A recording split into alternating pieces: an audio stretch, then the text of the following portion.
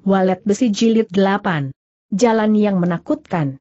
Tu Leong mengunjungi Wei Kie Hong, karena sebuah alasan saja di dalam hatinya dia memiliki sebuah rencana, dia berharap Wei Kie Hong bisa membantu menjelaskannya. Kie Hong Tu Leong menyapa begitu melihat temannya, bagaimana menurutmu kalau kita berjalan-jalan di luar sebentar? Aku baru saja pulang ke rumah. Setelah itu Ye Kie Hang menceritakan semua kejadian yang terjadi malam kemarin. Selain itu dia juga mengulang semua kejadian yang sudah terjadi hari ini tentu saja tidak lupa menambahkan cerita pertemuannya dengan Hyongki. Tuto aku, kalau aku mencoba mengingatkanmu agar jangan memberatkan tentang balas budi dengan cutai ya, apakah ini mungkin? Tu Liong tidak menunjukkan respon apa-apa. Wei Kie Hang tidak menyangka dia bisa mengeluarkan perkataan seperti ini seharusnya Tu Liong menentang dan menjadi emosi mendengar kata-kata tersebut, namun sekarang dia sama sekali tidak mengeluarkan suara. Walaupun tidak menentang, tapi belum tentu dia setuju. Tapi paling tidak dia sudah membuat sebuah pertimbangan. Apa penyebab perubahan sikap Tu Liong yang bisa membuat pendiriannya goyah? Kenapa kau tidak berkata apa-apa, Kie Hang Tu Liong berkata memangnya kau ingin aku berkata apa? Mengenai peringatan yang tadi aku berikan padamu. Tanda petik. Kemarin malam aku sudah memikirkan tentang hal ini. Sepertinya angkatan tua kita sedang menutupi sesuatu, dan mereka berusaha membodohi generasi di bawahnya. Apakah karena hal ini kau jadi kecewa? Huh aku sangat kecewa. Selain itu aku juga merasa ditipu. Ditipu bagi Wei Kie satu patah kata ini sangat sulit diterima. Siapa pun yang datang kepadanya mengatakan bahwa Leng Tai Ya adalah seorang penipu, dan sudah mempermainkan dirinya, dia pasti akan merontokkan semua gigi orang yang sudah mengatakan hal tersebut. Hal ini memang sangat sulit dipercaya, namun ini adalah kenyataan. Kemarin sehari penuh cutai ya setidaknya sudah membohongiku beberapa kali. Benarkah? Apakah mungkin aku membohongimu? Belum tentu, kau bisa saja berbohong padaku. Tapi pemikiranmu itu belum tentu bisa diandalkan. Jika Cutai ya ingin kau mati, kau pun pasti akan melakukannya. Untuk apa dia masih mau membohongimu lagi? Urusan ini tidak perlu kita debatkan lebih jauh lagi. Aku hanya ingin menanyakan satu hal padamu. Kalau Tiatian menjadi musuhmu, Sikap macam apakah yang akan kau tunjukkan padanya? Wei Kie Hang menjawab dengan spontan. Aku akan berusaha semampuku untuk merubah permusuhan kita menjadi persahabatan. Tuto aku. Kata-kataku tadi mungkin tidak benar, tapi hatiku berpikir demikian. Karena itu tadi aku menjawabnya dengan spontan. Aku sangat senang mendengar jawabanmu Tu Liong menepuk bahu Wei Kie Hong, Hatiku juga berpikir seperti ini mengapa harus bermusuhan dengan Tiak Yan? Apakah membalaskan kan dendam ayahnya adalah perbuatan yang salah? Salah kalau kita berpikir seperti ini salah? Tentu saja. Karena angkatan tua kita, korban yang sudah dilukainya. Salah tu Liong berkata dengan suara yang keras.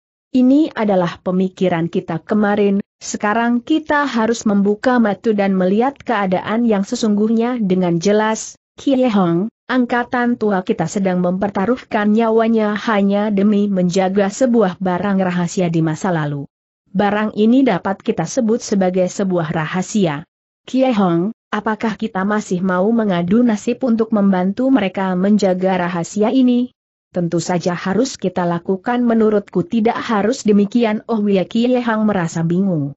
Tu Liong berkata perlahan-lahan kata demi kata. Kita harus membongkar rahasia ini, agar kita bisa mengetahui keadaan yang sesungguhnya.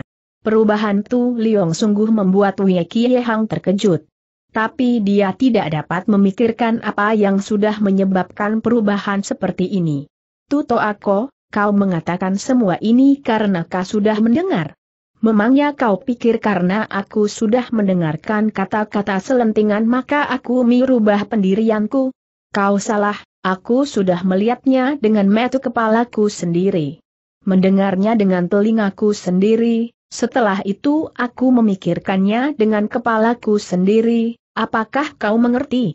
Kemarin Hyongki sudah memberitahuku bahwa kenyataan sesungguhnya yang dihormati semua orang. Ini perubahan yang sangat besar.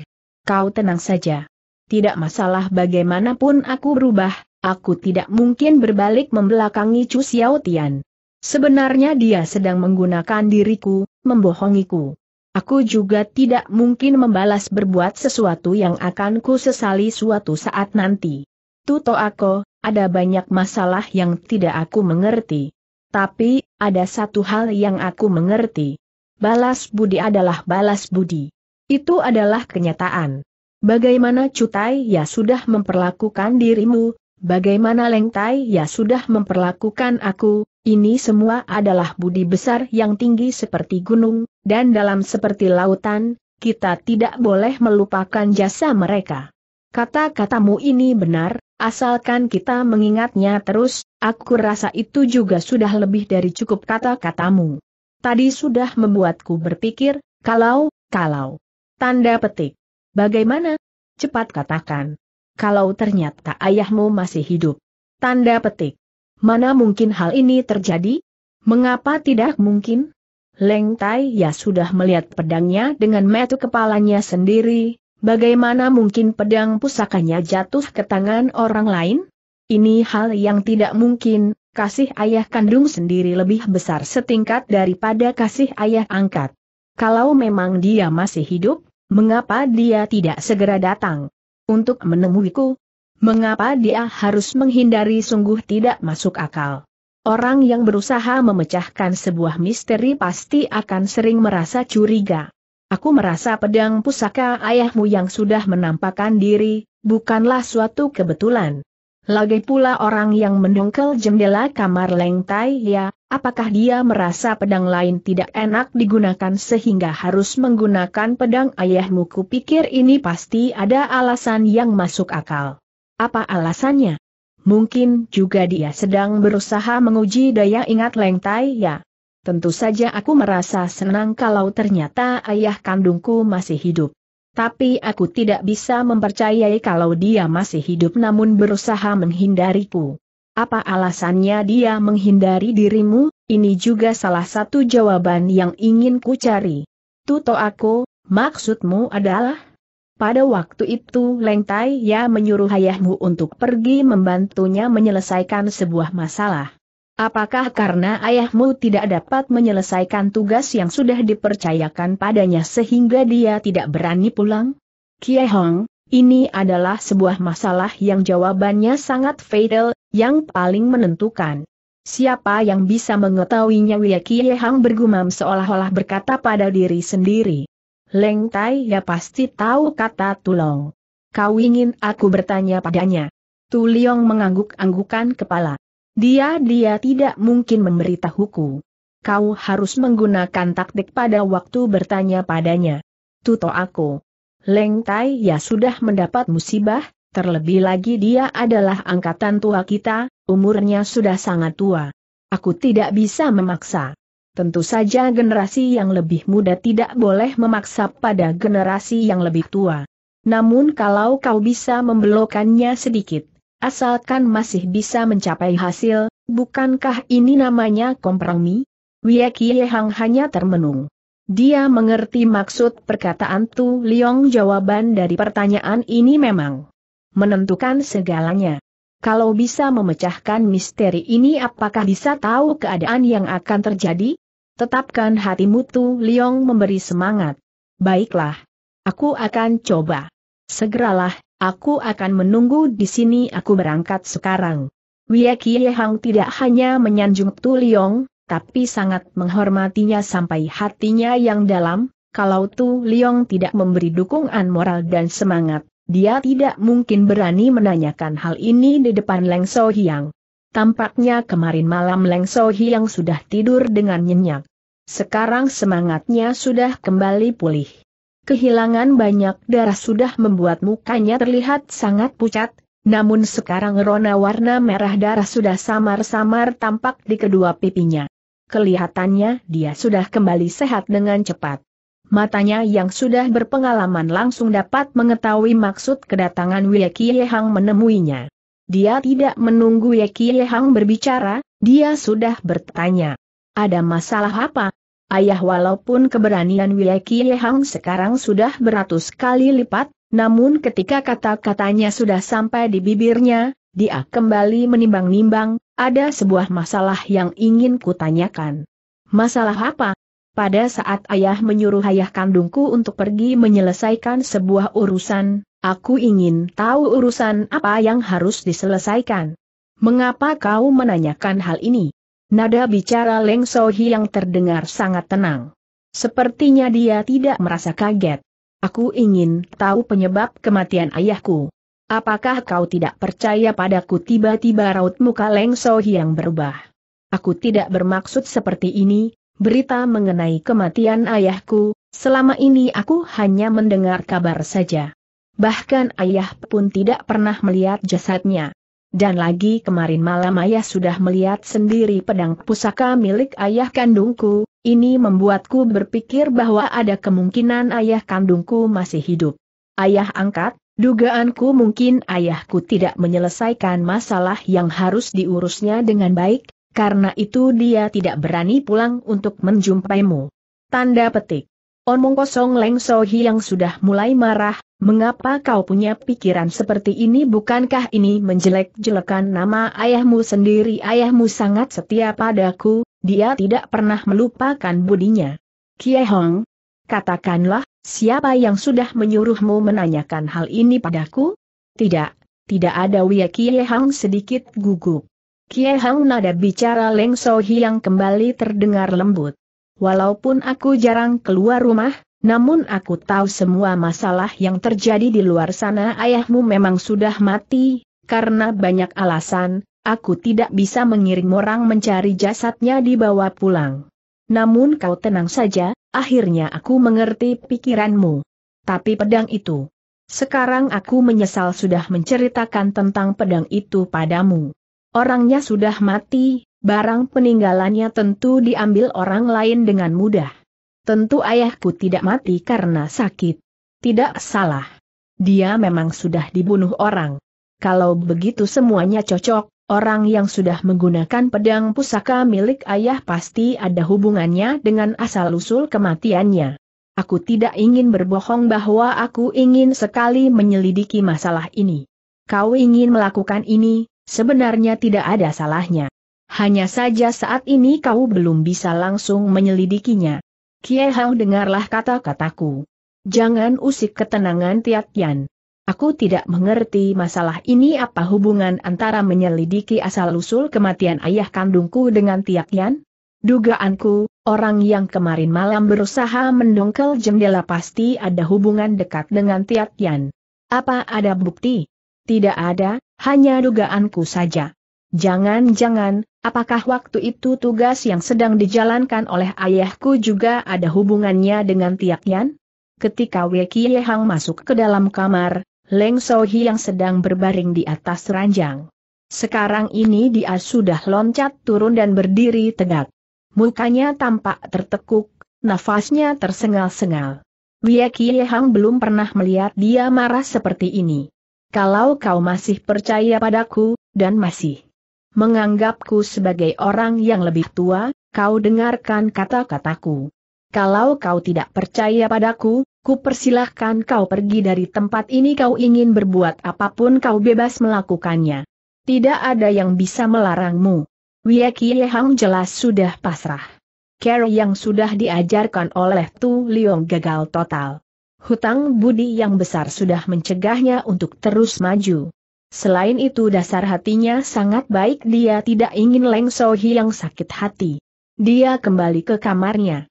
Hanya sekali melihat Tu Liong sudah tahu apa yang sudah terjadi, aku tahu kau tidak berhasil menanyakannya, malah sebaliknya dimarahi habis-habisan. Betul tidak? Aiwia Hang hanya menghembuskan nafas sedalam-dalamnya. Sebenarnya ini sudah lebih dari cukup, kalau Leng Tai ya tidak mau menceritakan kejadian yang sebenarnya, malah sebaliknya menjadi emosi, ini menunjukkan bahwa urusan yang sudah dia perintahkan agar ayahmu menyelesaikan. Pekerjaannya adalah sebuah urusan yang tidak dapat diceritakan pada orang lain. Tampak Wei Hang merasa tidak setuju dengan pernyataan ini. Tapi dia hanya mengerutkan kening sambil berkata, Mengapa kau bisa mengatakan hal ini apakah kata-kataku salah? Kalau misalnya Leng Tai ya sudah memberikan sebuah pekerjaan yang tidak boleh diceritakan pada orang lain, bukankah ketika ayahku pergi meninggalkan kediamannya, juga tidak bisa diceritakan pada orang lain? Air, kau sudah terlalu banyak membaca buku. Sepertinya kau sudah terbelit dengan kata-kata ini siapa yang tidak punya rahasia. Yang namanya rahasia ya memang tidak bisa diceritakan pada siapa pun. Urusan yang tidak bisa diceritakan pada orang satu lain pastilah adalah urusan yang picik. Setelah Tu Liong mengatakan seperti ini, Wei Hang merasa tidak enak hati setelah terdiam beberapa lama dia baru melanjutkan kata-katanya. Sekarang aku tidak tahu harus berbuat apa lagi. Kalau kau tidak ingin tahu kejadian yang sebenarnya, kau bisa bersantai dan tidur di dalam rumah. Kalau Tiak Yan datang kemari, barulah kau bisa berkata padanya. Tanda petik. Buat apa menyindirku? Jelas sekali kau tahu betapa aku ingin mengetahui keberadaan ayahku saat ini kalau masih hidup, aku ingin menemuinya, kalau sudah mati, aku ingin mempersiapkan upacara penguburan dan membuatkan sebuah makam yang layak. Kalau begitu kau harus pergi mencari Tiatian mencari dia, Betul sekali, waktu itu bukankah dia mengatakan ingin bertukar syarat denganmu? Wei Kie Hang merasa sulit membuat keputusan. Tiba-tiba saja dia terpikirkan tentang Hiongki. Karena itu dia membuat sebuah topik pembicaraan yang baru. Tuto aku, apakah kau pernah mendengar seseorang yang bernama Hiongki? Kenapa?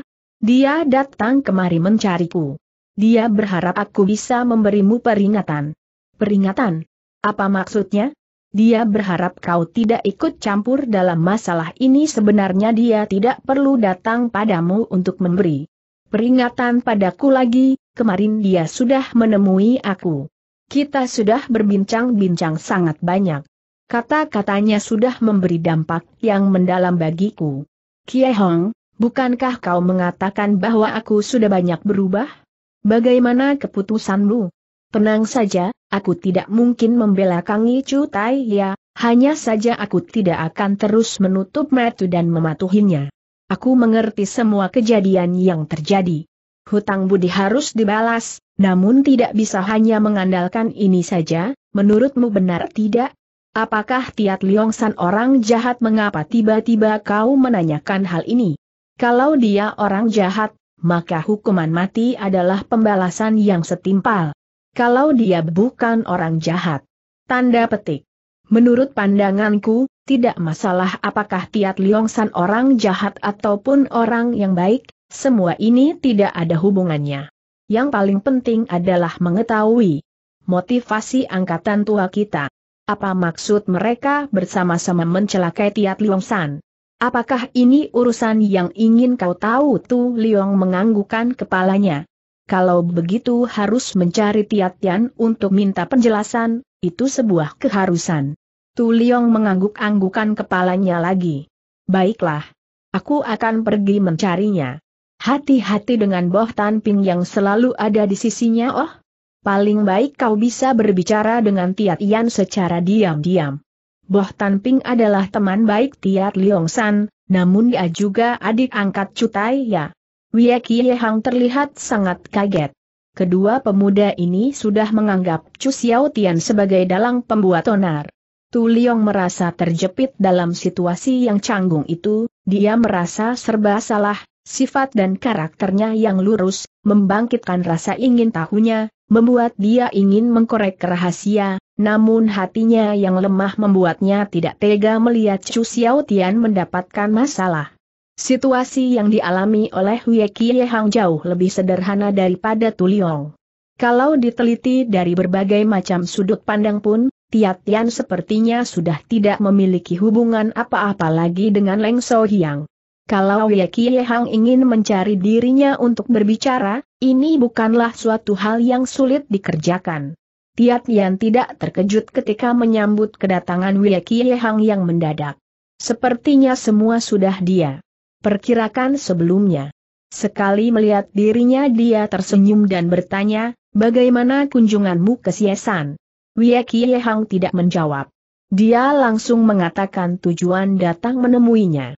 Tiat Yan dahulu kau pernah mengucapkan tentang sebuah perjanjian, apakah kau masih ingat? Tentu saja ingat. Apakah sekarang masih berlaku masih berlaku? Baik.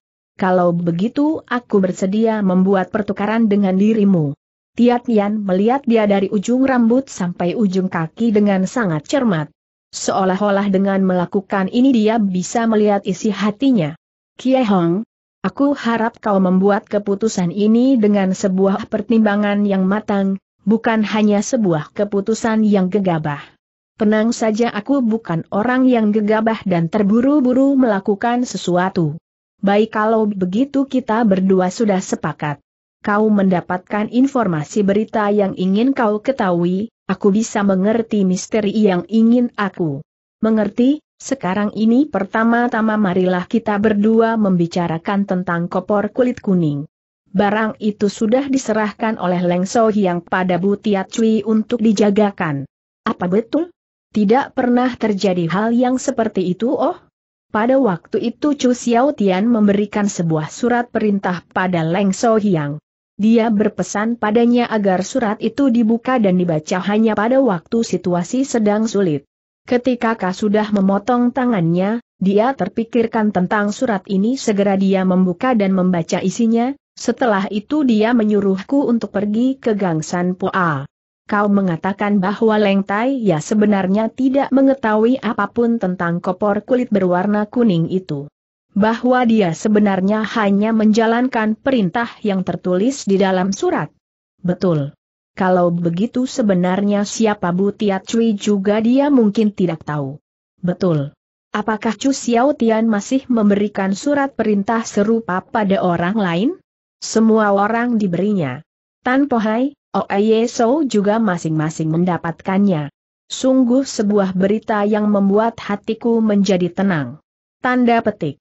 Wei Kie Hang merasa heran. Dia bertanya, mengapa berita ini membuatmu begitu gembira? Karena berita ini tidak pernah kita dengar sebelumnya. Sekarang kita sudah bisa membicarakan tentang keberadaan ayahku. Tiba-tiba saja raut wajah Tiat Yan berubah. Dia lalu berkata dengan nada rendah.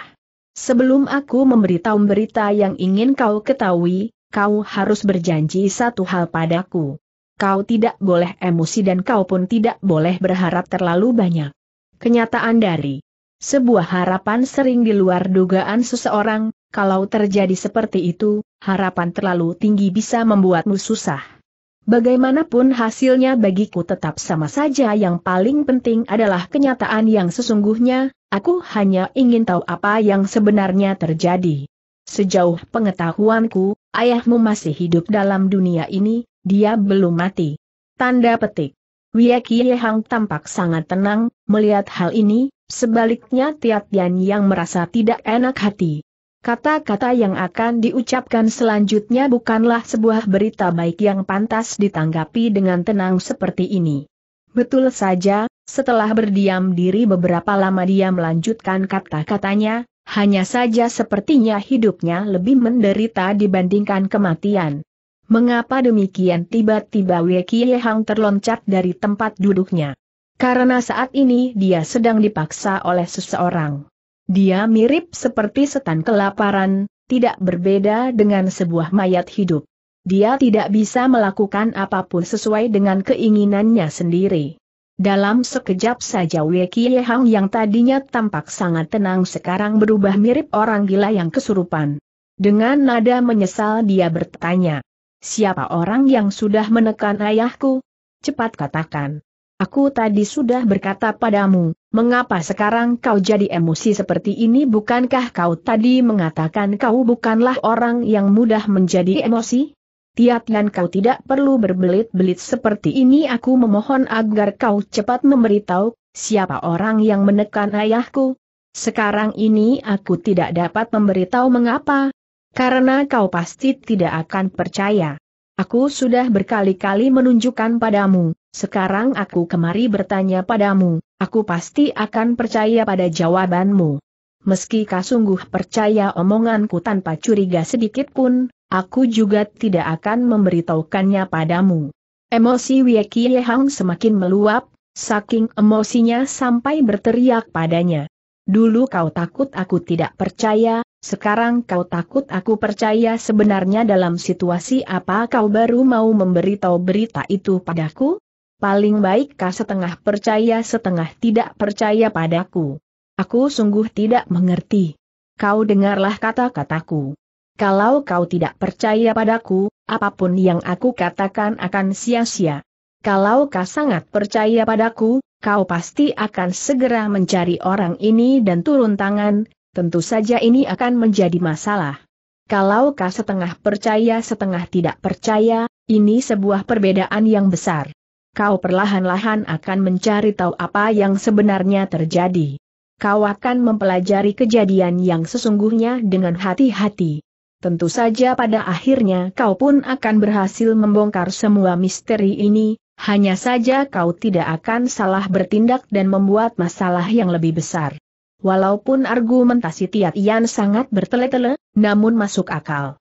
Wei Kie Hang sudah tidak emosi seperti tadi, sekarang dia sudah lebih tenang. Dia lalu berkata, Aku mengerti apa yang kau ingin katakan. Kalau aku berjanji tidak akan bertindak dengan gegabah, dan berhati-hati dalam menyelidiki kata-katamu, apakah kau akan memberitahuku? Persetujuanmu bukanlah suatu hal yang menentukan, masalahnya adalah apakah kau mampu menghadapi masalah ini dengan hati tenang. Aku percaya aku bisa melakukannya. Masih ada satu masalah lagi. Apakah kau bisa berjanji sebelum masalah ini selesai kau tidak memberitahukan tentang hal ini pada siapa pun? Boleh. Kalau begitu aku akan memberitahumu. Orang itu adalah Chu Tian. Chu Xiao Tian apakah benar Chu Xiao Tian adalah orang yang selama ini sudah menekan ayahnya Wei Kie yang bernama Wei Cheng? Pada saat ini perasaan Wei Kie bercampur aduk seperti ketika seseorang di tengah jalan melihat seseorang merangkak dan lalu menggigit seekor anjing. Bukan anjing yang menggigit orang, tapi orang yang menggigit anjing. Siapa pun yang melihat hal ini pasti pertama-tama akan mengira kalau dia salah melihat. Sekarang ini Wei Hang merasa bahwa dia sudah salah mendengar. Kau tidak percaya? Bukan tidak percaya, hanya sulit percaya. Sikapmu sungguh membuat hatiku tenang. Setengah percaya dan setengah tidak percaya. Kau perlahan-lahan akan. Tanda petik. Aku ingin bertanya satu hal lagi padamu. Apakah ayahku ada di dalam kota? Ada Tiat Yan menjawab dengan sangat yakin. Di mana? Di dalam genggaman tangan Cutai ya. Apakah selama bertahun-tahun ini ayahku tidak mendapat kesempatan bebas? Sangat sulit, karena kemampuan Chu Xiao Tian untuk mengendalikan orang lain luar biasa hebat, orang-orang seperti Tu Liong, Leng Tai Ya, Hui Chi Hong, Tan Po Hai, bukankah semuanya berada dalam genggaman tangannya? Kata-kata yang diucapkan Tiat Yan sangat dalam, Wei Kie Hang diam-diam merasa terkejut. Kie Hong, Chu Xiao Tian bukan orang yang mudah dihadapi. Ini adalah kata-kata terakhir yang bisa aku sampaikan untukmu. Tanda petik. Ada satu hal yang ingin aku beritahu padamu. Boh Tan Ping adalah adik angkat Chu Xiao Tian, kau tidak boleh terlalu percaya padanya. Wei Kie Hang berharap untuk melihat Tiat Yan yang terkejut, tapi ternyata Tiat Yan malah tertawa. Tawanya terdengar sangat lembut.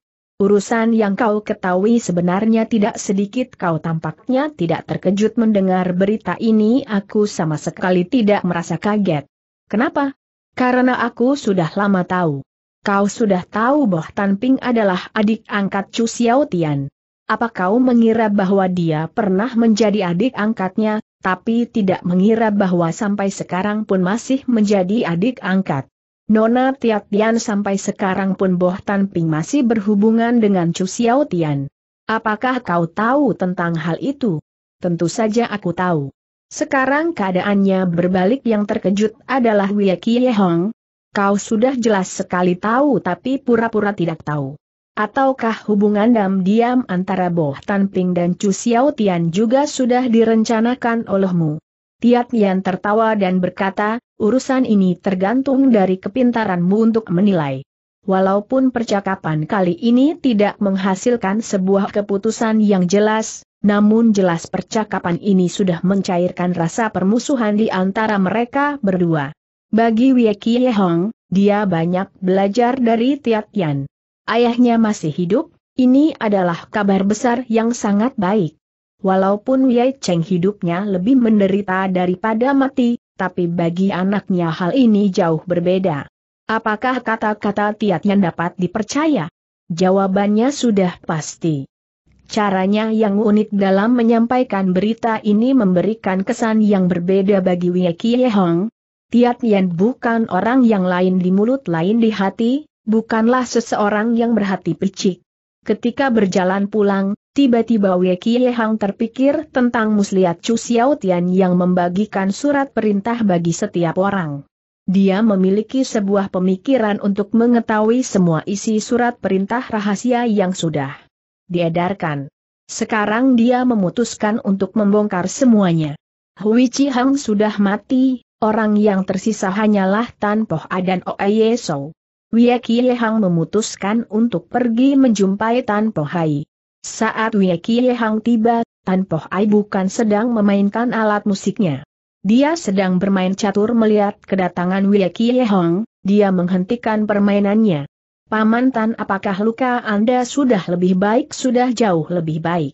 Mendengar dari nada suara dan cara bicara Tan Poh Ai, sepertinya kehilangan kedua daun telinga bukanlah sebuah urusan yang sangat besar baginya. Bagaimana keadaan Leng Taya? Beliau juga baik-baik saja Wei Kie Hang berbicara dengan sangat sopan. Mendadak dia menurunkan suaranya. Giau sudah mengutusku kemari untuk menanyakan tentang satu hal padamu.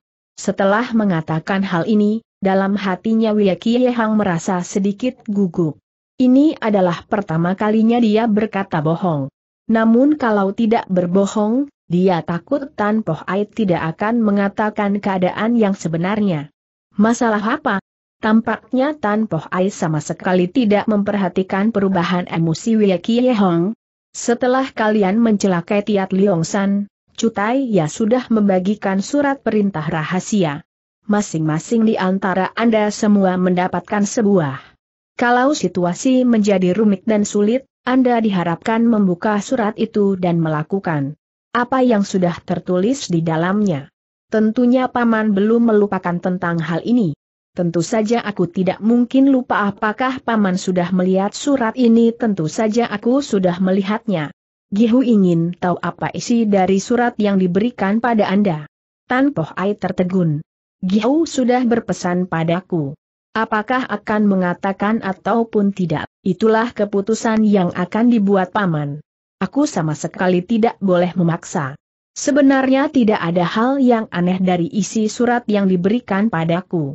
Di atas surat itu hanya tertulis beberapa huruf saja, orang yang bodoh akan selamat. Ini sesuai dengan apa yang aku inginkan sekarang, kau lihat, bukankah aku sekarang sudah baik-baik saja? Wei Kie Hang merasa seperti balon bocor yang kempis dan kehilangan udara. Kata-kata yang tertulis itu tidak mengandung banyak arti. Kali ini sepertinya dia sudah datang sia-sia. Apakah Leng Tai ya mengetahui apa isi surat yang diberikan pada Tuan Besar Hui? Hui Tai ya sudah mati, bagaimana bisa mencari tahu? Mendadak raut muka Tan Pohai menjadi muram. Dia berkata seperti sedang bergumam. Kie Hong, aku tidak ingin menutupi dirimu. Sebenarnya aku sudah melihat isi surat yang diberikan pada Hui Tai ya. Oh, Wei Kie Hang bingung, entah apa dia harus terkejut atau senang. Setelah aku mendengar kalau kedua Macho Tai ya sudah dicungkil, aku langsung berpikir kalau dia tidak mungkin bisa membaca surat rahasia itu sendiri. Oleh karena itu aku tidak memperdulikan luka yang sedang kuderita dan secepatnya pergi ke tempatnya. Tentu saja Hui Tai ya sangat mempercayai aku. Karena itu dia meminta aku membacakan suratnya. Wei Kie Hang khawatir kalau dia terlalu banyak bertanya pada Tan Po Hai, dia tidak akan lebih banyak bercerita padanya. Karena itu dia sengaja membelokkan kata-katanya, Paman Tan. Gihu sangat ingin tahu isi surat rahasia itu. Apakah Anda bisa menceritakannya padaku? Karena Leng Tai ya yang ingin tahu, aku tentu saja tidak bisa menutup-nutupinya. Tapi kata-kata yang tertulis di dalam surat rahasia untuk Hui Tai ya masih membuat bulu keduku berdiri sampai sekarang. Oh memang apa yang tertulis di sana? Tan Poh merendahkan nada suaranya. Dia mengatakan patah demi patah kata dengan sangat bertenaga. Cepatlah mati untuk menghindar kesulitan pada teman-temanmu. Oh apakah Hui Tai ya langsung melakukan perintah yang dituliskan? Saat itu aku sudah berunding dengannya. Lagi pula kedua matanya sudah tidak bisa melihat. Dia tidak mungkin bisa membaca tulisan yang tertera di dalam surat. Lagi pula tidak ada orang yang tahu kalau aku sudah membantunya membacakan surat itu. Karena itu kami berdua berpura-pura tidak ada yang melihat surat rahasia yang sudah diberikan padanya. Apakah saat itu Hui Tai ya menerima usulanmu pura-pura tidak tahu? Tentu saja dia setuju usulanku. Siapa yang tidak ingin terus hidup? Tapi, tanda petik. Tapi ternyata Hui Tai ya mati. Aku sungguh tidak tahu apa yang sudah menyebabkan hal ini apakah dia lalu berubah pikiran dan menganggap kalau perintah di dalam surat itu tidak boleh diabaikan begitu saja? Mendadak Wei Hang tercebur dalam sebuah pemikiran yang mendalam. Sepertinya saat ini dia sedang terjepit sebuah pertanyaan yang sangat besar. Sampai-sampai tatapan matanya tidak beralih barang sejenak pun. Kau kenapa? Oh, tiba-tiba Wei Hang kembali sadar, aku tidak apa-apa, aku hanya merasa aneh. Mungkin saja Cutai ya sedang bercanda, mengapa Hui Tai ya harus begitu serius menanggapi isi surat tersebut? Sudahlah sebaiknya kita berdua berhenti di sini saja kau harus berpura-pura tidak mendengar apa pun. Aku pun akan berpura-pura tidak mengatakan apa pun. Harap tenang. Aku bukan seorang anak kecil. Wie Kie Hang terus berbincang-bincang dengan Tan Poh Ai untuk beberapa lama. Setelah menjelang sore, Wie Kie Hang mohon pamit. Dia meninggalkan kediaman Tan Po Hai. Segera dia pergi ke kediaman Hui Tai Ya, kediaman Hui Tai Ya terletak ke sebelah selatan kediaman Tan Po Hai. Ini adalah sebuah bangunan yang sangat mewah. Wie Kie Hang adalah tamu yang sering berkunjung ke tempat ini, karena itu dia bisa masuk ke dalam kediamannya dengan mudah. Dia mengunjungi pengurus kediaman tersebut. Pengurusnya bermarga Eng. Dia mengira Leng So Hiang sudah mengutusnya datang untuk menanyakan perihal upacara pemakaman, karena itu dia segera menjamunya. Pengurus Eng ketika Hui Tai yang meninggal, apakah Anda sedang berada di sini? Ya, aku sedang berada di dalam kediaman ini. Siapakah yang paling pertama mengetahui tentang kematiannya? Orang yang sedang mengurus dirinya apakah aku bisa menemuinya? Wei Xiaoya, maafkan aku tidak sopan, apakah aku boleh bertanya mengapa Anda ingin melakukan hal ini? Pengurus Eng apakah Anda sungguh percaya bahwa Hui Tai ya sudah mati gantung diri? Memangnya tidak? Aku tidak berani memastikan, hanya saja berdasarkan keadaan terakhirnya, sepertinya Hui Tai ya tidak mungkin bisa menggantung dirinya sendiri. Anda tidak tahu. Hui Tai ya seumur hidupnya selalu mementingkan harga dirinya. Menerima musibah yang besar seperti ini, mana mungkin dia masih mempunyai harga diri untuk terus hidup? Pengurus Eng yang aku bicarakan bukan masalah harga diri aku sedang membuat kesimpulan. Hui Tai ya sudah kehilangan kedua matanya.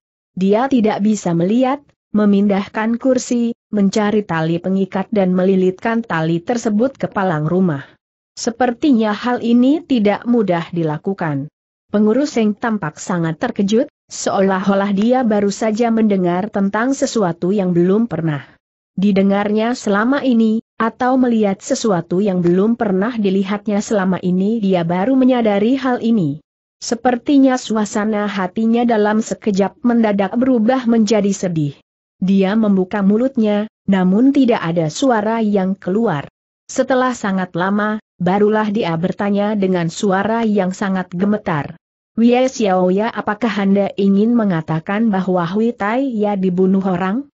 Aku curiga pada hal tersebut. Sepertinya hal ini tidak mungkin. Karena Hui Tai ya sangat baik pada semua orang, dia tidak pernah berselisih paham dengan orang lain. Mana mungkin? Pengurus Eng yang aku katakan bukanlah suatu hal yang sudah pasti. Yang kau katakan pun belum pasti, sebaiknya kita berdua mencoba menyelidiki hal ini bukankah kita akan mengetahui hal yang sebenarnya terjadi? Bagaimana Carol mencari tahunya?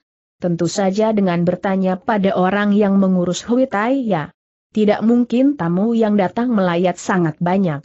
Sekali masalah ini terdengar keluar, bukankah ini menjadi bahan tertawaan orang banyak?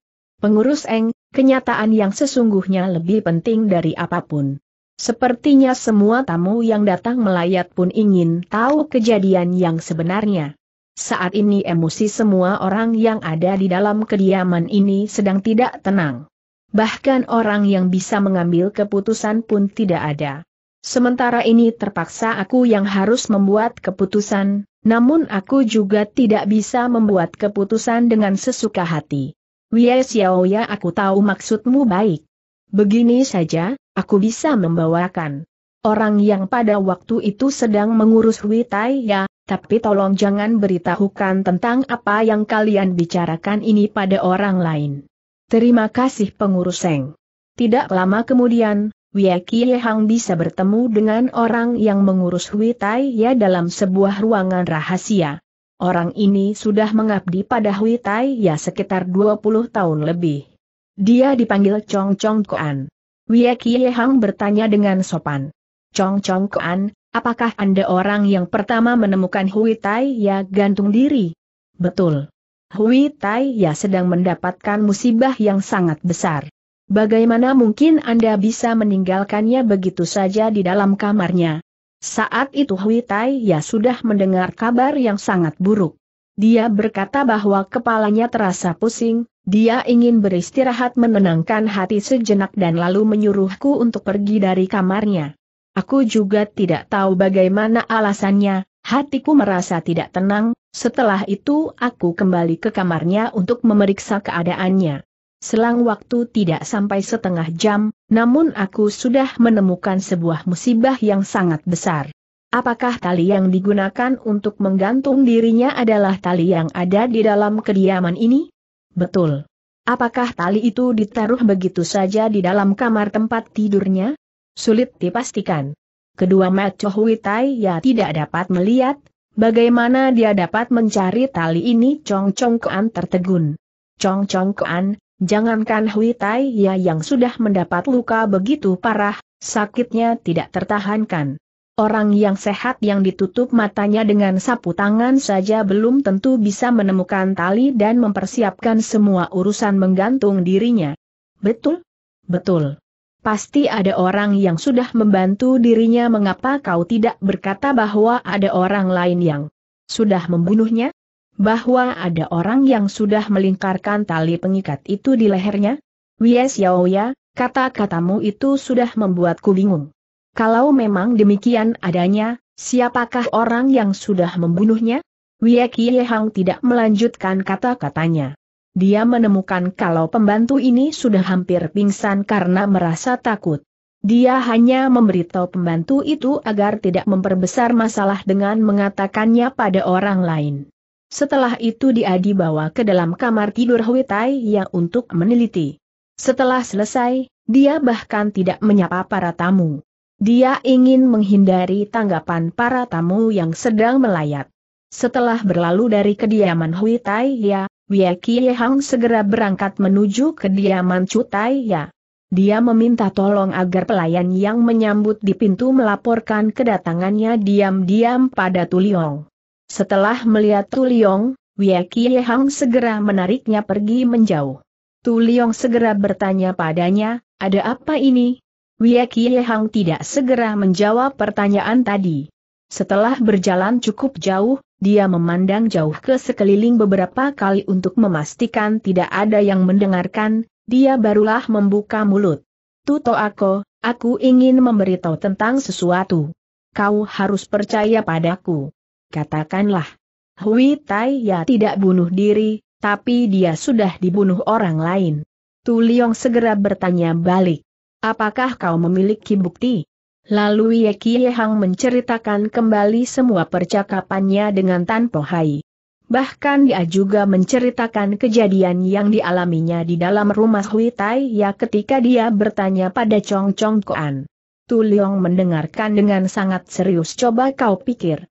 Seseorang yang sudah kehilangan penglihatannya, seorang tua yang sudah menderita luka yang sangat parah, lalu ingin menggantung diri, Pasti ini adalah hal yang sulit dilakukan.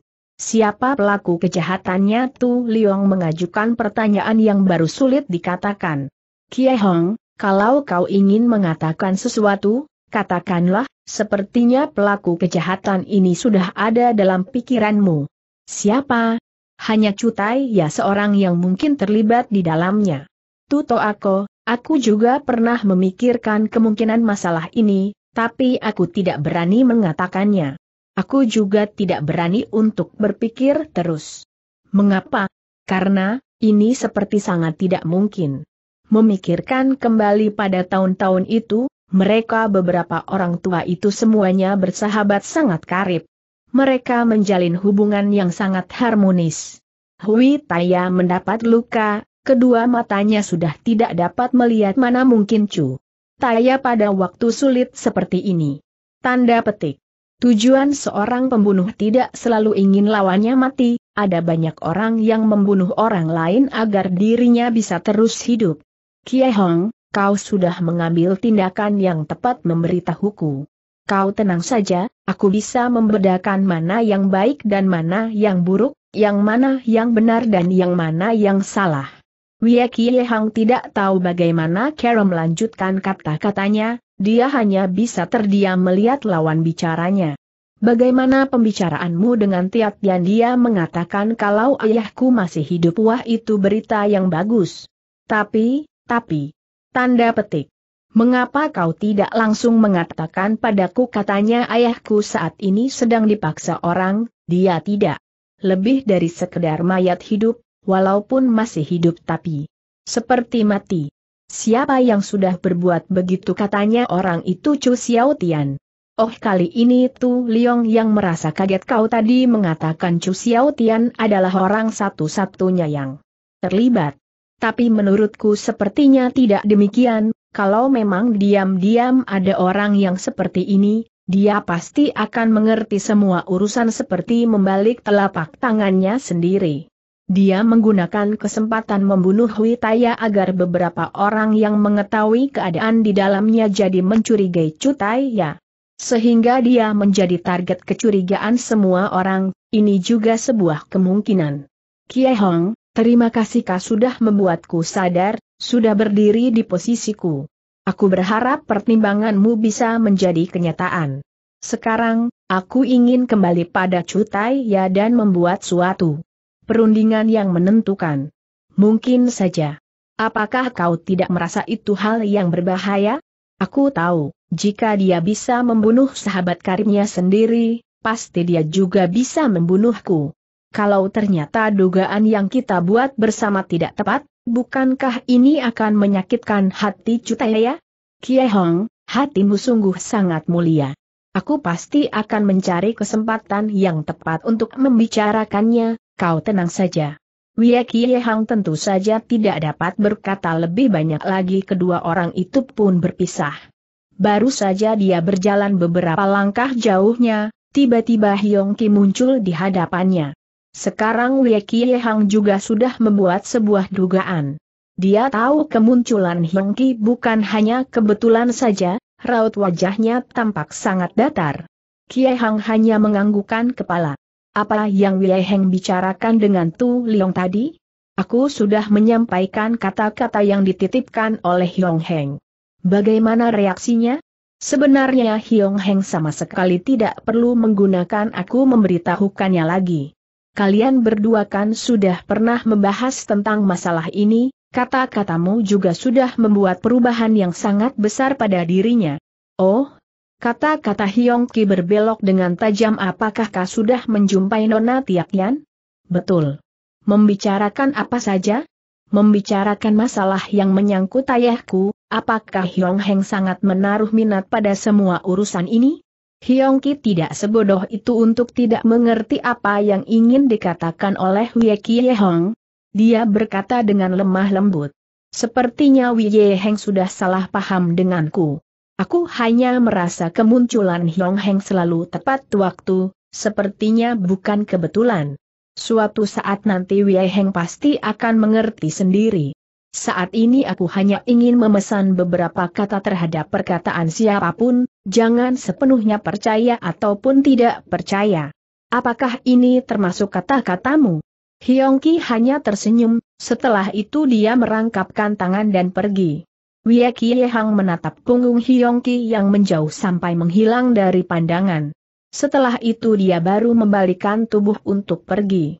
Wei Hang menyewa sebuah kereta, dan pergi ke Gang San Poa ke kediaman Bu Tia Cui.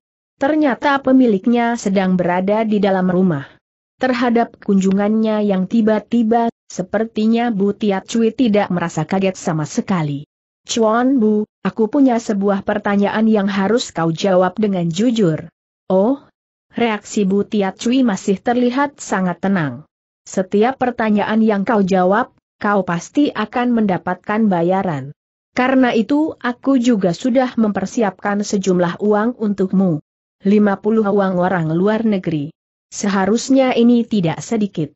Aku ingin mendapatkan uang ini. Pertanyaannya sangat sederhana, siapakah yang sudah menyuruhmu menjagakan kopor kulit kuning itu? Aku tidak bisa mengatakannya kenapa? Tidak bisa ya tidak bisa. Kalau begitu aku tambah uangnya dua kali lipat, jadi seratus, bagaimana? Walaupun kau memberikan aku seribu metu uang orang luar negeri, aku tidak mungkin memberitahukannya. Kau setidaknya harus memberitahu alasannya. Ini adalah urusan hidup dan mati. Saat itu aku juga pernah menerima uang dari orang lain.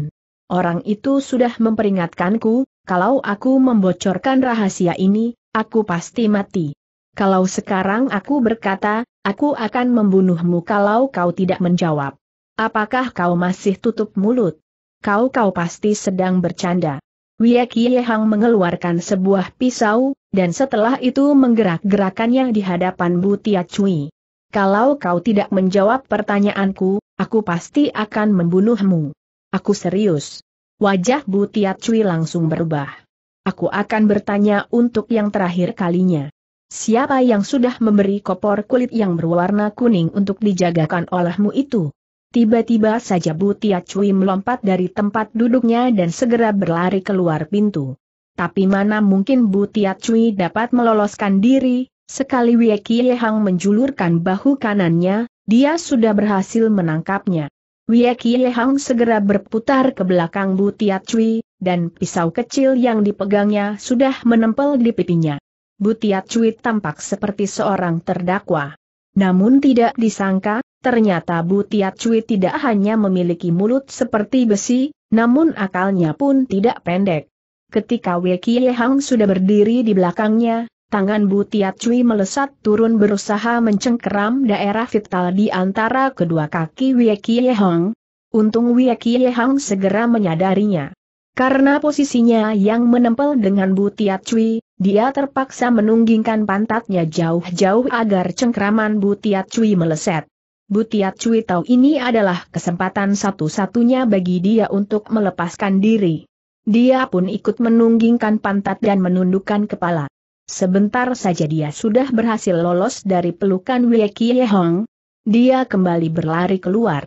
Sayangnya dia masih kurang cepat. Wei Kie Hang segera menjulurkan tangan kirinya dan langsung memegang bahu kiri Bu Tiat Cui.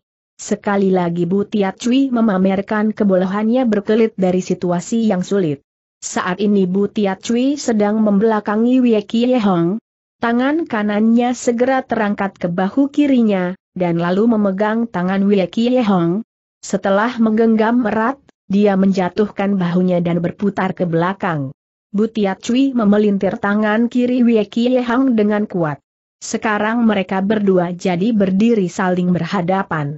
Hanya saja Wei Kie Hang tidak berdiri tegak. Dia rada membungkuk kesakitan. Butiat Cui tidak membuang waktu. Kaki kanannya segera menendang tangan kanan Wei Hang yang masih memegang pisau. Pisau itu terlepas dari tangan Wei Hang dan melayang menuju lemari yang terletak di sudut ruangan. JLEPP. Pisau menancap di lemari dengan kuat. Setelah kembali pada posisi berdiri, sekarang giliran kaki kiri Butiat Cui yang menyerang. Kaki itu segera menyambar ke arah muka Wei Hong. Wei Hong segera menggunakan tangan kanannya untuk mencengkram kaki yang sedang melaju cepat ke arahnya. Mendadak Wei Hong berdiri tegak. Dia sekarang mendapat keunggulan posisi, karena kaki kiri Butiat Cui sudah ada dalam cengkeramannya. Dengan cepat dia ikut menendangkan kaki kanannya ke arah Butiat Cui. Tendangan ini mengenai perutnya dengan telak. Butiat Cui menjerit kesakitan, dan terlempar ke belakang. Wei Hang segera berlari ke arah lemari untuk mencabut pisaunya. Baru saja tangan kirinya menyentuh pegangan pisau, tangan itu sudah dipegang keras oleh tangan kanan Butiat Cui. Wei Hang segera melemparkan tangan kirinya untuk membuka pertahanan Butiat Cui. Serta merta dia melayangkan tinjunya sekuat tenaga ke dadanya. Ternyata Butiat Cui juga tidak kalah cepat. Tangan kirinya segera menangkap tinju itu dengan mantap. Wei Hang kembali mengayunkan kaki kanannya ke arah Butiat Cui. Butiat Cui melepas pegangan tinju Wei Hong, dan dengan tangan yang sama menepis kakinya dengan keras. Kaki Wei Hong jadi terasa perih, dan secara refleks turun kembali ke bawah. Kali ini kaki kiri Butiat Cui melangkah maju. Telapak tangan yang sudah menepis kakinya meluncur dengan cepat dan menghantam dadanya dengan keras.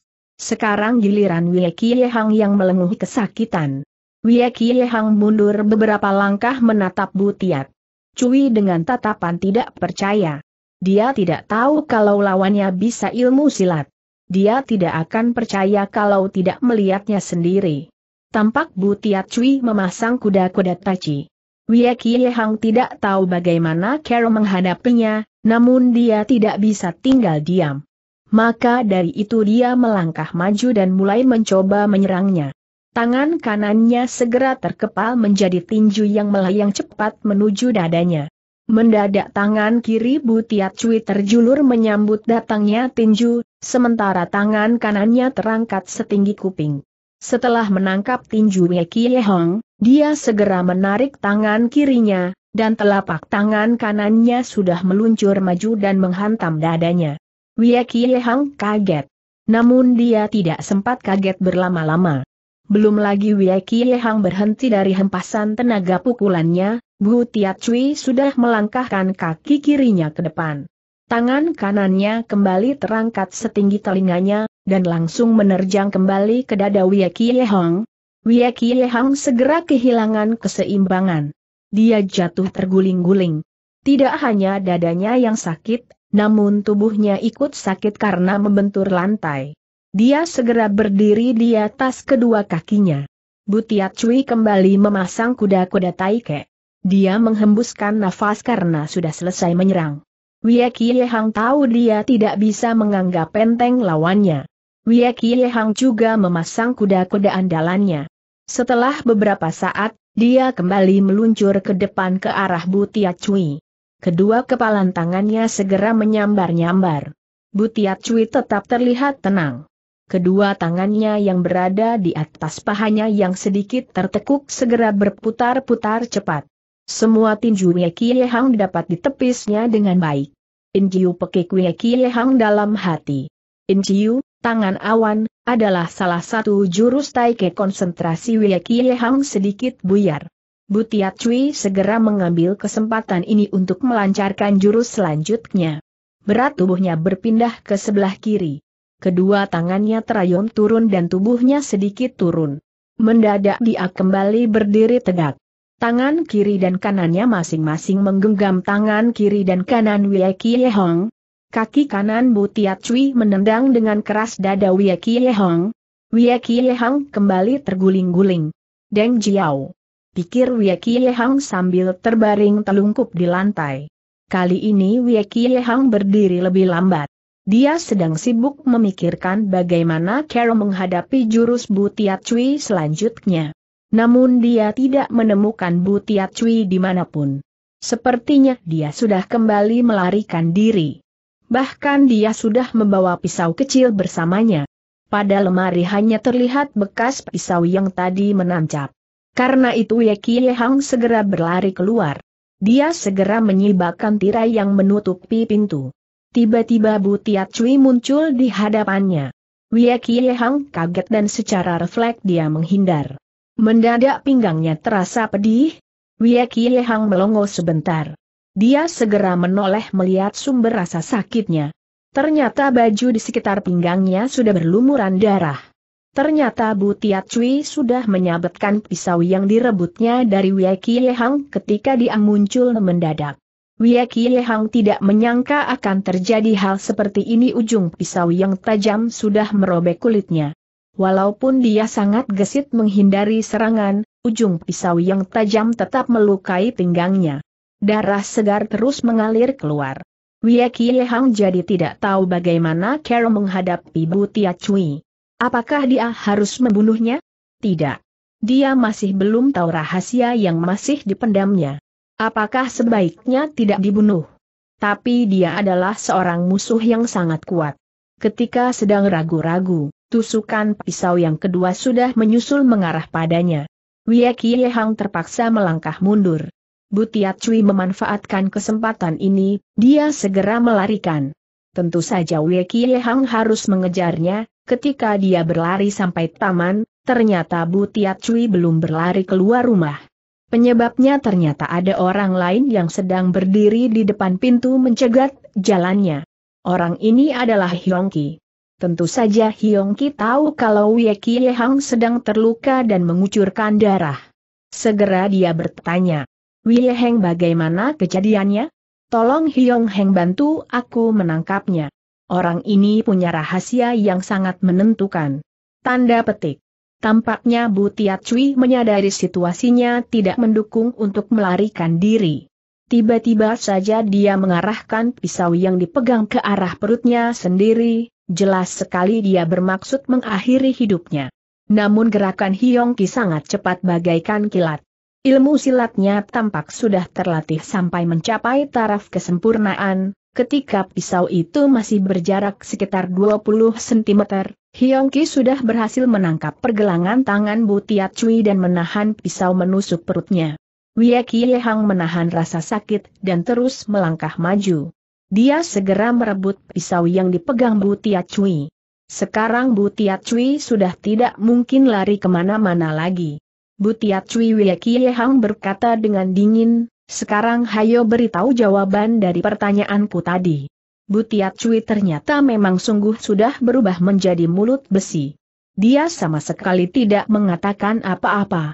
Wei Kie Hang melihat pada Hiong Ki, sepertinya dia ingin meminta tolong membantunya menghadapi Butiat Cui. Hiong Ki berkata dengan ramah.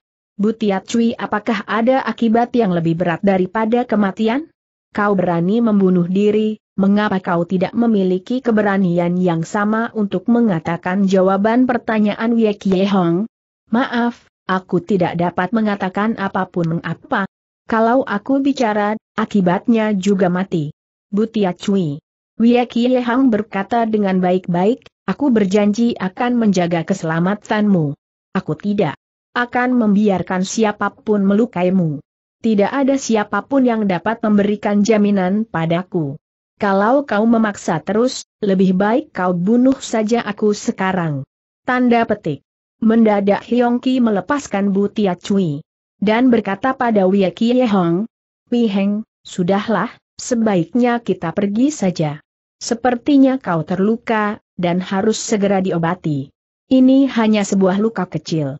Luka kecil pun tetap sebuah luka. Sebaiknya kita pergi. Sekarang penilaian Wei Kie Hang terhadap Hyongki sudah jauh lebih baik. Sambil menghela napas dia pun lalu melepaskan Bu Tia Cui. Dia lalu pergi bersama Hyongki. Wei Eng, tampaknya aku sudah membuntutimu lagi. Betul? Sejujurnya aku memang merasa demikian. Mengapa aku ingin memperhatikan semua gerak-gerikmu dengan Tuliong? Pada saat ini memang sangat sulit menjelaskannya. Suatu saat nanti kalian pasti akan mengerti betul juga, perkataan apa yang kau tanyakan pada Butiak Cui. Wia Kie Hang lalu menceritakan ulang tentang Muslihat Chu Xiao Tian memberikan surat perintah ketika keadaan mendesak. Tentu saja dia juga mengatakan tentang kopor kulit kuning.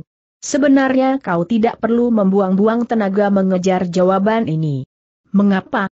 Sebab ini bukan hal yang menentukan. Aku tidak setuju apa yang Hyong Heng katakan. Kalau Bu Tiat Cui mengaku kopor itu sudah diberikan padanya oleh Chu Xiao Tian, bukankah segalanya menjadi jelas? Siapa pun yang sudah memberikan kopor tersebut, tidak menjadi masalah. Kalau begitu masalah apa yang penting tanya Wei Kie Hang memaksa. Hui Chi Hang adalah sahabat karib Chu Xiao Tian, namun ternyata dia sudah memberikan surat yang menyuruhnya untuk mengakhiri hidupnya. Apakah ini yang pantas dilakukan oleh seorang teman pada temannya? Wei Kie Hang terdiam tidak berkata apa-apa. Apakah menurutmu orang seperti ini masih pantas hidup di dunia? Emosi Wei Kie Hang sama sekali tidak terpengaruh oleh kata-kata Hiongki. Dia mulai mengkhawatirkan luka yang sedang dideritanya. Karena itu dia segera menghentikan percakapan. Kalau ada waktu kita akan bicara lagi aku ingin mencuci lukaku. Wei Eng, baik kau dan Tu Liong semua sudah mendapat luka serius. Ini adalah persahabatan darah. Harap selalu diingat. Setelah itu dia kembali merangkapkan tangan dan segera pergi. Wei Kie selalu merasa bahwa semua tindakan Hiong Ki selalu dilakukan dengan sangat mendadak. Sangat mencurigakan. Sepertinya dia sangat membenci Chu Xiao Tian. Mengapa? Kie Hang merasa sangat tenang. Sebelum masalah ini menjadi jelas, sebaiknya dia tidak ikut-ikutan. Ie Tong adalah toko obat yang sangat terkenal di Pahia. Toko ini menjual perlengkapan obat-obatan.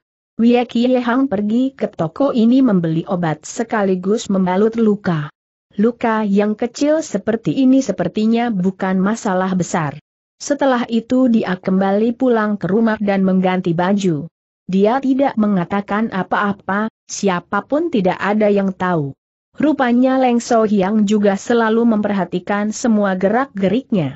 Tidak lama dia sampai di rumah, sudah ada orang yang datang memanggilnya untuk menghadap. Kie Hang apakah kau sudah pergi lagi betul? Untuk apa? Aku sudah pernah mengatakan sebelumnya, aku ingin mengetahui apa isi surat rahasia yang diberikan oleh Cutai ya pada teman-temannya. Dan aku sudah berhasil. Oh Leng Sohi yang tampak sangat kaget surat rahasia yang diberikan pada Tan Poh Ai hanya berisi kata-kata orang yang bodoh akan selamat, namun surat yang diterima oleh Hui Tai ya sangat berbeda. Selanjutnya, Wei Kie Hang menceritakan semua penemuannya yang mengejutkan. Raut wajah Leng Sohi yang terus berubah-ubah. Terakhir wajahnya menjadi sangat pucat. Cobalah ayah pikir, Bukankah hal ini sangat menakutkan? Ya sungguh menakutkan Leng So yang berkata. Sambil bergumam. Ayah adalah generasi tua, sebaiknya ayah membuat sebuah pendirian. Kiai Hang masalah ini harus dihadapi oleh kami generasi tua. Aku tidak ingin generasi yang lebih bawah ikut terjerumus dalam masalah ini. Tapi, aku tidak bisa berhenti sampai di sini mengapa? Karena urusan ini menyangkut masalah ayahku memangnya kenapa dengan ayahmu? Ayahku belum mati, dia hanya sedang didesak oleh seseorang. Orang yang sudah mendesaknya tidak lain adalah Chu Xiao Tian. Siapa yang sudah mengatakan hal ini Tiat Tian? Mengapa kau begitu percaya kata-kata musuhmu Tiat Tian bukanlah seorang musuh? Apa raut wajah Leng Sohi yang tiba-tiba terlihat sangat dingin, dia sudah membuatku menjadi cacat, kau masih tidak menganggapnya musuh. Dari berbagai sudut pandang, mungkin dia pantas disebut sebagai seorang pelaku kejahatan, tapi dia sama sekali bukan musuh. Saat ini kita sudah tidak perlu menunjukkan sikap yang bermusuhan padanya. Apakah karena dia sudah menceritakan kisah tadi, jadi kau mengubah pandanganmu terhadap dirinya? Kisah Wiekie Hang balik memandang Leng Tai ya. Sepertinya dia tidak mengerti arti kata itu. Dia mengatakan kalau ayahmu belum mati, kalau ini bukan kisah isapan jempol, apalagi namanya? Aku percaya bahwa apa yang dikatakan Tiatian bukanlah isapan jempol saja. Dari mana kau tahu kalau kata-katanya bukan hanya bualan semata? Ayahmu sudah mati, ini sebuah kenyataan. Tidak mungkin salah. Apakah kau percaya pada kata-kataku? Ataukah kau lebih percaya pada orang yang tidak kau kenal dengan baik? Gihu. Tanda petik. Jangan menyebutku seperti itu kalau memang ayahmu belum mati, pergilah mencarinya jangan lagi menggangguku. Sekarang Leng Sohi yang sangat marah. Kelakuannya seperti sedang mengusir anjing. Pergi. Pergi. Hati Wei Hang sungguh merasa sedih. Dia berpikir ingin melangkah mendekat dan menjelaskan mengenai apa yang dia pikirkan. Menjelaskan tentang perasaannya, tapi dia merasa bahwa menjelaskan pada saat seperti ini, tampaknya tidak akan mudah. Karena itu dia tidak berkata apa-apa lagi dan segera pergi. Saat orang sedang mendapat masalah, dia pasti memikirkan arak. Namun setelah tiga cawan arak turun ke dalam perutnya, Wei Hang merasa semakin gundah. Ketika emosinya sedang bergejolak seperti ini, Wei Hang pergi ke kediaman keluarga Chu. Chu Xiao Tian sudah sangat akrab dengan Wei Hang. Dia juga tahu Wei Hang biasa datang ke tempat tinggalnya untuk mencari Tuliong. Sekarang tiba-tiba dia datang mengunjungi dirinya, tentu saja dia merasa aneh. Kie Hong, mengapa kamu minum arak mabuk karena arak, hati akan mengerti. Ha! Kata-katamu terdengar sangat berat. Aku lihat kau sudah mabuk, hingga berpikir tidak jernih. Cutai ya, hari ini aku mengetuk pintu dan mengunjungimu, aku memohon Anda menjelaskan sebuah masalah. Katakanlah, kau tentu sudah kenal ayahku. Tanda petik. Tentu saja siapakah orang di dalam kota Pahia ini yang tidak kenal Ye Cheng? Dia adalah orang yang sangat menarik. Kalau begitu ayah kandungku pasti sering berhubungan dengan Anda. Tentu saja, tentu saja, kita berdua sering pergi minum arak bersama-sama. Ketika ayahku disuruh pergi membereskan sebuah masalah. Dia pasti sudah datang kemari menceritakannya padamu, apa betul? Tidak salah. Kalau begitu, apakah ayahku tidak memberitahukan padamu apa tugas yang harus dikerjakannya? Kie Hong, kau sudah berputar-putar sejauh itu, apakah ingin menanyakan tentang hal ini? Cutai ya, kalau Anda tidak mengetahui keadaan sebenarnya, aku juga tidak bisa apa-apa kalau Anda tahu, tolong beritahu aku. Aku merasa aneh. Mengapa kau tidak langsung bertanya pada Leng Tai ya, malah datang kemari dan bertanya padaku? Dia pasti akan lebih mengerti banyak hal dibanding diriku. Ayahku tidak mau memberitahu. Oh raut wajah Chu Xiao Tian tampak kaget sekaligus heran, dia tidak mau memberitahu padamu. Mengapa? Aku juga tidak mengerti, UGH. Aku mendengar kabar di luaran, aku tidak berani mendengar lebih banyak lagi, Chu Taya, anak membutuhkan kasih sayang ayah, namun ayahku tidak ada. Anda harus mengerti perasaanku. Gosip apa yang sudah kau dengar menurut kabar, ayahku masih hidup. Bohong Chu Xiao Tian terus menggeleng-gelengkan kepala, kalau ayahmu masih hidup, mana mungkin dia tidak menggubris anaknya sendiri? Ada dua macam kabar yang ku dengar. Pertama mengatakan bahwa dia tidak berhasil menyelesaikan tugasnya dengan baik, karena itu dia tidak berani pulang menghadap Leng Tai Ya. Yang sarunya lagi mengatakan kalau dia sudah didesak oleh seseorang, sehingga tidak memiliki kebebasan. Kie Hong, Leng Tai ya sudah memperlakukanmu dengan sangat baik kau tidak seharusnya ragu akan dirinya dan memiliki pemikiran yang lain. Ayahmu memang sudah mati, ini tidak salah. Apakah Cutaya melihat mayatnya belum? Kalau begitu mengapa kau sangat yakin kalau aku bilang mati, dia pasti mati. Cutai ya, karena pengaruh beberapa cawan arak yang diminumnya, sikap Wei Hang menjadi sangat keras, kau tidak bisa berkata seperti ini kau harus mengeluarkan bukti, barulah aku bisa merasa tenang. Mengenai urusan di luar, aku sungguh mengerti. Kau tentu mengerti tentang urusan di luar, namun kau tidak tahu apa tugas yang diemban oleh ayahku. Karena itu, tanda petik. Apakah kau sedang menggunakan taktik untuk memancing emosiku? Di hadapan generasi tua siasat apa pun tidak berani aku gunakan. Aku hanya ingin tahu, tugas apakah yang diimban oleh ayah kandungku ketika itu kecuali Leng Tai ya, sepertinya tidak ada orang kedua yang mengetahui tentang hal ini. Aku tahu. Emosi Wei Hang semakin memuncak. Namun dari luar, raut wajahnya tampak masih tenang-tenang saja. Dia berkata dengan datar. Aku tidak ingin mendengar tentang hal ini lagi. Walaupun kau tidak ingin mendengarnya, aku masih akan memberitahumu, orang yang mengatakan kalau ayahmu masih hidup, itu hanyalah gosip yang menyesatkan. Kenyataannya adalah bahwa dia sudah meninggal, tentang hal ini hanya aku yang tahu. Oh, sebelum ayahmu pergi bertugas, dia pernah datang kemari menemuiku menghadapi masa depan dia tidak memiliki sedikit pun rasa percaya diri dia merasa bahwa perjalanan yang harus ditempuhnya sangat menakutkan, bahkan dia tidak memiliki keberanian untuk pergi. Aku sudah mengenal ayahmu selama bertahun-tahun, dia adalah seorang pemberani yang tangguh. Hanya saja, MMM, cobalah kau pikirkan sendiri, tidak perlu aku mengatakannya sampai detail. Wia Hang berpikir balik, mengapa ayahnya meragukan masa depannya? Apakah dia melihat jalan yang ditempuhnya adalah suatu misi bunuh diri? Mengapa? Cutaya apa yang ayahku takuti pada waktu itu dia takut mati. Mengapa dia tahu kalau dia mengemban tugas itu dia pasti mati?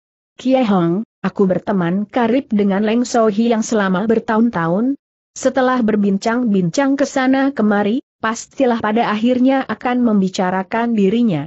Untuk apa kau menyuruhku menceritakan hal yang akan melukai temanku, orang yang sudah mati tidak akan kembali hidup.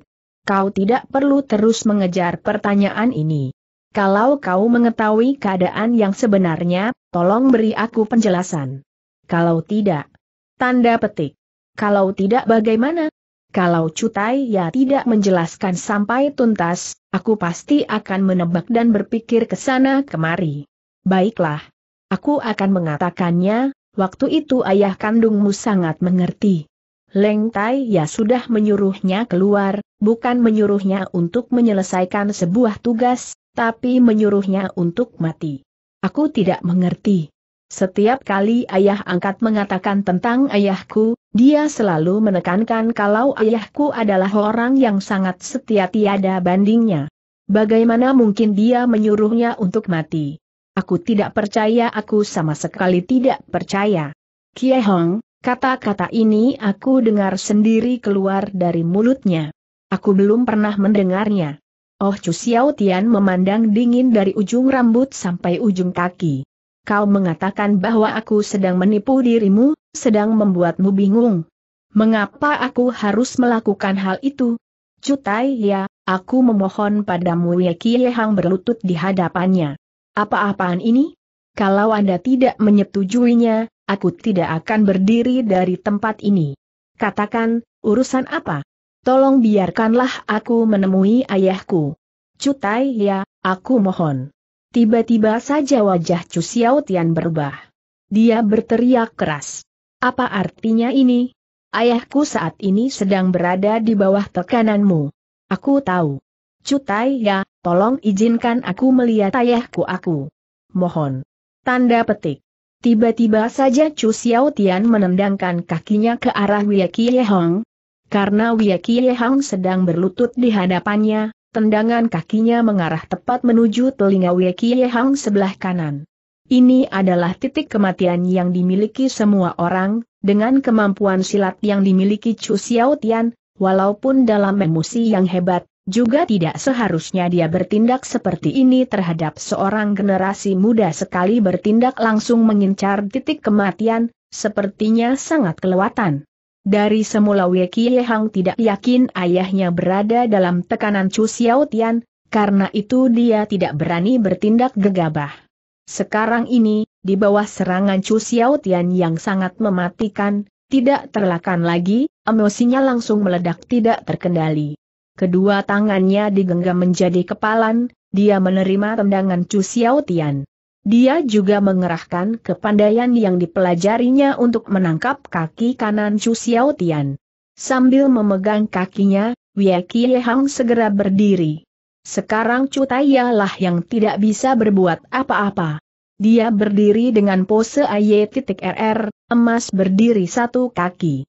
Cutai Yawe Hang terus memburu pertanyaan, mengapa Anda ingin membunuhku? Aku hanya mewakilkan Leng Tai ya mendidikmu pelajaran bersopan santun. Chu Xiao Tian masih sangat marah. Mendidikku? Kau tadi sudah mencoba menendang titik kematianku, jelas sekali kau ingin membunuhku. Kalau kau tidak menangkis serangan, aku pasti akan merubah arah seranganku pada detik terakhir. Tentu saja aku harus menangkis serangan, aku tidak selemah ayahku. Wia Hong, kau salah. Aku sudah memberitahu jangan terlalu percaya omongan kosong orang lain sehingga tidak mempercayai orang yang lebih tua. Cutai ya, tendanganmu kali ini sudah membuktikan. Katakanlah di mana ayahku berada saat ini, aku tidak tahu. Pada waktu itu, kau sudah membuat rencana untuk mencelakai Tiat Liongsan, lalu kau menarik teman dekatmu menjadi tameng. Setelah itu orang-orang yang terlibat dalam peristiwa ini semuanya mendapat hukuman, sedangkan kau sendiri bisa lolos dan tenang-tenang di luar. Paman Tan, Hui Tai Ya, bahkan sampai Leng Tai Ya pun sudah dibohongi olehmu. Aku tidak boleh, katakanlah. Di mana ayahku berada saat ini? Aku tidak tahu. Mendadak Wei Hang memutar kaki kanan Chu Xiao Tian yang masih dipegangnya. Chu Xiao Tian tidak bisa berdiri tegak lagi. Dia segera terjatuh ke lantai. Kemudian Wei Kie Hang langsung meloncat ke depan menerkam bagai macan menerkam mangsanya. Pisau kecilnya sudah menempel di punggung di belakang jantungnya Chu Xiao Tian. Kie Hang kau berani sekali berbuat seperti ini aku pasti akan menyuruh Leng Tai ya untuk menghukummu dengan keras. Kalau kau sekarang tidak mau memberitahu sampai jelas, kau selamanya tidak mungkin bisa menemui Leng Tai ya. Katakanlah di mana ayahku? Aku tidak tahu Chu Xiao Tian tetap berkeras sambil marah-marah. Jangan kau kira aku tidak berani turun tangan. Aku sungguh bisa membunuhmu. Kalau aku tidak tahu ya tidak tahu. Wia Kie Hang mengangkat pisau yang dipegangnya, sepertinya dia sungguh akan membunuhnya. Berhenti tiba-tiba Tu Liong muncul tuto aku. Wia Kie kau tidak boleh berlaku kurang ajar seperti itu pada Cutai ya. Tuto aku, kau tidak mengerti. Tanda petik. Cepat lepaskan Cutai ya. Kalau aku lepaskan, tidak ada kuburan yang mau menerima jazatku. Tenanglah, aku jamin keselamatanmu. Kie Hang lalu melepaskan Chu Xiao Tian, di depan Tu Liong, dia tidak berani terus melanjutkan tindakannya. Chu Xiao Tian membalikan tubuh dan merayap berdiri. Masih dengan marah-marah dia berkata, Tu Liong, kau didik anak kecil yang tidak tahu sopan santun ini. Tu Liong berkata dengan dingin. Cutai ya, Anda tentu sudah mendengar kata-kataku tadi. Aku mau menjamin keselamatan dirinya. Wei Kie Hong, cepat kau pergi. Tuto aku, maksud kedatanganku kemari bukanlah untuk. Tanda petik. Aku tidak peduli apa maksud kedatanganmu. Sekarang kau cepat pergi. Lebih cepat lebih baik. Kau jangan membuat kesulitan sendiri, juga jangan membuat sulit diriku. Suatu saat nanti, kau dan aku pasti akan ada kesempatan lagi. Wei Hang sangat pintar, mana mungkin dia tidak mengerti apa yang ingin dikatakan oleh Tuliong. Tuliong sedang berada di tengah situasi terjepit, hutang budi harus dibalas, persahabatan pun harus dijaga, berpikir sampai di sini, dia pergi keluar tanpa membalikan kepala lagi. Sekarang Chu Xiao Tian menjadi lebih tenang, dia berkata dengan lembut. Tuliong, Aku tahu kau dan Wei Kie Hang mempunyai hubungan persahabatan yang sangat akrab, tapi aku tidak tahu apakah di dalam hatimu kau menghormati aku. Aku sudah dibesarkan oleh Anda, tentu saja aku menghormati Anda. Tu Liong, Aku tidak ingin membuatmu merasa serba salah. Aku juga tidak ingin menyalahkan Wei Hong. Sebenarnya Wei Hong memiliki hati yang sangat baik, hanya saja ada orang yang sedang menyetirnya dari belakang. Tu Liong, bisakah kau membantuku mencari tahu, siapakah orang yang sedang menghasutnya selama ini? Urusan ini aku khawatir aku tidak bisa ikut campur oh kenapa begitu? Sebelumnya aku sudah berpikir ingin memecahkan misteri ini sekarang ini aku menjadi takut. Karena semakin menebak semakin jauh, aku semakin merasa bahwa jawaban dari misteri ini sangat menakutkan. Rupanya ada maksud lain dalam kata-katamu. Semua orang pasti memiliki sebuah rahasia, rahasia yang tidak ingin diberitahukan pada orang lain, mengapa aku harus mengorek rahasia orang lain? kau harus berkata lebih jelas sedikit. Kalau kau merasa kau memiliki rahasia yang tidak bisa dikatakan pada orang lain, sebaiknya kau segera mengatakannya padaku.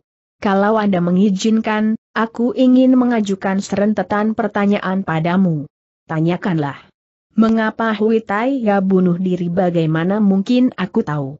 Apakah Anda sama sekali tidak mencurigai kematian Hui Tai ya? Jangan berbelit-belit. Sebaiknya kau katakan secara langsung padaku. Hui Tai ya sudah dibunuh orang. Apakah kau pikir aku yang sudah membunuhnya?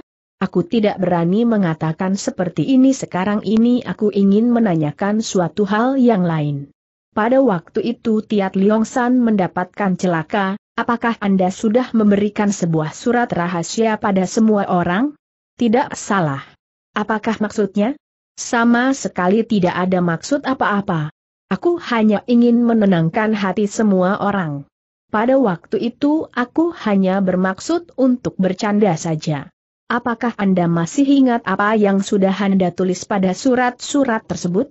Sudah lupa. Pada surat yang diterima oleh Witaya hanya tertuliskan kata-kata berikut, cepatlah mati untuk menghindari membuat susah teman-temanmu. Oh Chu Xiao Tian tampak sangat terkejut. Lalu apakah Hui Chi Hang menganggapnya dengan serius? Tidak. Dia tidak ingin mati, lagi pula dia sudah merundingkan masalah ini dengan orang lain. Hasilnya tetap saja dia mati. Karena itu kau mengambil kesimpulan kalau aku yang sudah membunuhnya? Tidak.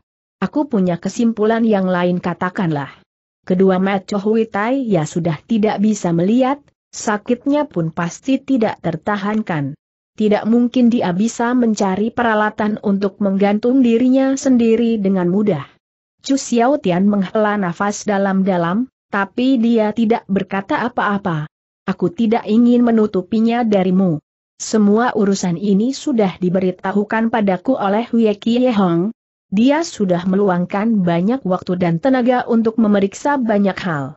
Cutai ya, ini membuatku merasa serba salah. Chu Xiao Tian memangku wajahnya dan bertanya, apa yang membuatmu serba salah? Banyak situasi dan kondisi yang sudah memberatkan dirimu. Di satu sisi aku selalu berusaha sekuat tenaga untuk menyelidiki kebenaran, di sisi yang lain aku juga mengingat budimu yang sudah merawatku dari kecil. Bagaimana mungkin aku tidak merasa serba salah? Huh, Chu Xiao Tian lalu mengeluarkan sebuah tawa dingin. Apa pun yang sudah kau katakan tadi, kesimpulannya kau mencurigai kalau aku yang sudah membunuh Hui ya, betul tidak? Tidak, aku tidak berani memastikan seperti itu paling tidak kau mencurigai aku, betul? Tu Liong mengatupkan rahangnya kuat-kuat. Sepertinya dia tidak ingin mengatakan apa yang sedang dipikirkannya, namun pada akhirnya kata-kata itu terlepas dari mulutnya. Betul. Aku memang merasa curiga plak. Tiba-tiba Chu Xiao Tian menampar Tu Liong dengan kuat. Dia merasa sangat emosi, dengan sangat marah dia berteriak. Cepatlah kau pergi dari sini jauh-jauh. Kau tidak perlu memikirkan lagi balas budi padaku. Pergi. Pergi. Pergi. Kata-kata ini terdengar bagaikan kilat yang terdengar sangat keras di telinga Tulong, bahkan sampai merasa pusing mendengarnya. Pergi tanda seru amarah Chu Xiao Tian sama sekali tidak berkurang walau sudah dikeluarkan tadi. Bahkan sekarang dia tampak lebih emosi lagi. Pergi tanda seru. Pergi tanda seru. Pergi tanda seru kau. Dengar tidak kata-kataku?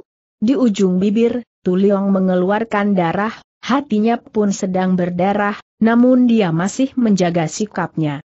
Dia lalu berlutut, dan lalu menundukkan kepalanya sampai menempel tanah. Tata krama ini menunjukkan kalau hubungan balas budinya dengan Chu Xiao Tian sekarang sudah putus. Setelah itu dia berdiri, dan lalu pergi keluar. Tu Liong tidak hanya pergi keluar dari kamar tidur Chu Xiao Tian, tapi dia juga terus melangkah keluar dari rumah kediaman Chu Tai Ya. Dia terus melangkahkan kakinya menuju masa depan yang serba tidak pasti. Orang yang berlalu lalang di jalanan sangat banyak. Suasana hiruk pikuk dan hari sangat panas, namun hati Tu Liong merasa dingin. Tapi ketika Hyong Ki muncul di hadapan matanya, mendadak sinar matanya kembali cerah. Kemunculan Hyong Ki selalu mendadak dan tepat waktu. Tu Liong Hyong Ki bertanya kaget apa yang terjadi. Denganmu. Tadi aku sudah bertengkar dengan seseorang Tu Liong belum menyeka darah yang mengucur dari sisi bibirnya. Dengan siapa? Dengan orang yang tidak pantas dibicarakan dia sepertinya tidak ingin membahas kejadian yang baru saja menimpanya. Hyong Heng, Aku ingin merepotkanmu dengan sebuah permintaan. Tidak usah sungkan, katakanlah bantulah aku mencari Boh Tanping. Dia tinggal bersama Tiat Yan di Gang San Poa. Aku tahu. Hanya saja aku tidak ingin menemuinya di sana. Bisakah kau mencari care agar dia bisa keluar dari kediamannya untuk menemuiku? Kalau harus menariknya keluar sepertinya tidak mungkin. Tapi aku sangat ingin tahu. Apa niatmu memanggilnya keluar? Aku ingin berbicara dengannya. Hanya berbicara? Tentu saja, kalau harus melawannya, aku bukanlah tandingannya, membalas dendam pun bukan waktu yang tepat. Dalam hatiku masih ada pertanyaan untuknya, aku ingin mendapatkan jawaban itu langsung dari mulutnya. Hu lalu Hiongki tertawa dingin, bukankah ini hal yang mustahil? Hiong Heng, walaupun dia berkata bohong, Aku tidak peduli. Kalau dia berbohong, apa manfaatnya bagimu menanyakan padanya? Setidaknya aku bisa membuktikan perkataan seseorang yang lain. Pertama-tama Hyongki tertegun, setelah itu dia tertawa lagi. Walaupun kejadian ini berlangsung sangat singkat, namun perubahannya sangat rumit. Dia lalu berkata seperti sedang bertanya sepintas. Ternyata kau sedang mencurigai kata-kataku. Maaf. Aku tidak boleh hanya mendengar dari satu pihak saja. Kata-katamu tidak salah, mendengar penjelasan dari satu pihak saja akan membuat orang menjadi salah paham. Ini sangat berbahaya. Tapi kalau kau ingin membuktikannya, paling baik kau jangan menemui Boh Tanping. Kalau begitu harus mencari siapa? Hyongki mengatakannya sepatah demi sepatah kata. Karila Tiatian. Wei Kie Hang sedang mencari dirinya. Dia mendapatkan kabar yang sangat mengejutkan. Mungkin berita yang didengarnya ini adalah sebuah kebohongan yang sangat enak. Didengar. Kalau kau orang yang baik, aku ingin meminjam sebuah barang darimu. Katakanlah asalkan aku memilikinya. Aku ingin meminjam surat yang sudah kau tunjukkan padaku dulu. Surat? Betul. Surat yang ditulis oleh Chu Xiao Tian untuk Boh Tanping sekejap saja rasa terkejut Hiong Ki menurun. Dia bertanya dengan ramah. Untuk apa kau ingin meminjam surat itu? Menjadi sebuah bukti untuk menginterogasi seseorang menginterogasi siapa? Menginterogasi orang yang terlibat pada waktu itu. Apakah kau tahu mengapa waktu itu aku hanya memperlihatkan surat itu sekilas padamu dan setelah itu menyimpannya kembali? Ini karena aku takut kau akan mendapatkan masalah. Mendapat masalah? Aku tidak mengerti apa yang kau maksud.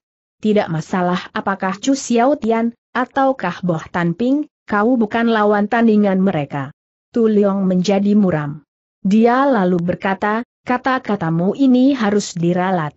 Dunia ini bukanlah dunia di mana semua urusan bisa diselesaikan hanya dengan menggunakan tenaga manusia saja masih ada hukum negara, aturan langit, etika antar manusia. Dengarlah kata-kataku. Kau carilah Tiat Yan dan berbicara dengannya. Tiatian dengan Boh Tan Ping sering bersama-sama. Kalau gerak-geriku terlihat olehnya, tetap saja dia bisa bertindak tegas menghadapiku. Hiong Ki berpikir, lalu berkata, setelah Wei Hang berbicara dengan Tiatian, apakah dia akan meminta pendapatmu? Pasti. Kalau begitu, dia pasti sudah memberitahumu tentang satu hal. Boh Tan Ping dan Chu Xiao Tian selama bertahun-tahun ini selalu menjaga hubungan. Sebenarnya Tiat Tian juga mengerti hal ini, karena itu asalkan salah mengaturnya, pertemuanmu dengan Nona Tiat Tian, Boh Tan Ping juga pasti akan mengetahuinya. Kalau begitu aku ingin meminta tolong Hiong Heng untuk mengaturnya. Hiong Ki menyetujuinya, lalu meminta Tu Liong pergi ke sebuah rumah makan satu tingkat yang berada di sebelah barat untuk menanti. Ini membuktikan satu hal, Hiong Ki diam-diam bisa menghubungi Nona Tiatian. Tapi apa gunanya informasi ini dari awal, Tu Liong selalu dipenuhi rasa percaya diri, karena dua tujuan. Mencegah Tiatian melakukan tindak kejahatan, mencari tahu sampai jelas barang apa yang sedang dicari Tiatian. Dia bahkan bersedia menolong dirinya. Namun sekarang keadaan berubah sampai seperti ini bahkan hubungan balas budi sudah berubah sampai seperti ini, semakin lama semuanya terasa semakin rumit. Sebenarnya ke mana dia harus melangkah? Tu Liong merasa bimbang. Dia hanya tahu kalau dia sedang menapakkan kaki di jalan yang sangat berbahaya. Tidak ada satu orang pun yang ingin menapakkan kakinya di jalan yang berbahaya. Namun dia malah memutuskan untuk terus berjalan di sana. Dia tidak takut, dia hanya merasa kesepian. Satu-satunya orang yang dapat dipercaya adalah Wei Kie Hong, namun dia tidak ingin menarik Wei Kie Hong untuk berjalan bersama dirinya di jalan yang berbahaya ini. Tu Liong kembali melihat wajah yang sudah sangat dikenalnya. Boh Tan Ping. Dari tatapan mata lawannya, bisa terlihat Boh Tan Ping sudah memperhatikannya sangat lama. Dia bermaksud ingin menghindar. Namun ternyata Boh Tan Ping menghampirinya. Adik tu, aku ingin meminta maaf atas apa yang sudah kulakukan kemarin ini, ternyata sikap Boh Tan Ping sangat berbalikan. Lukanya tidak parah kan? Kau sedang merencanakan apa jawaban Tu Liong sangat terus terang. Adik tu, aku hanya ingin menunjukkan ketulusanku minta maaf, tidak ada maksud lain. Kalau begitu, mengapa kemarin ini? Kemarin ini karena kau adalah anak buah Xiao Tian, aku menganggapmu sebagai kaki tangannya. Setelah aku dengar kau sudah memutuskan hubungan dengan Chu Xiao Tian, karena kau sudah membulatkan tekadmu dan membuatnya marah. Tu Liong sangat terkejut. Bagaimana bisa berita ini begitu cepat menyebar?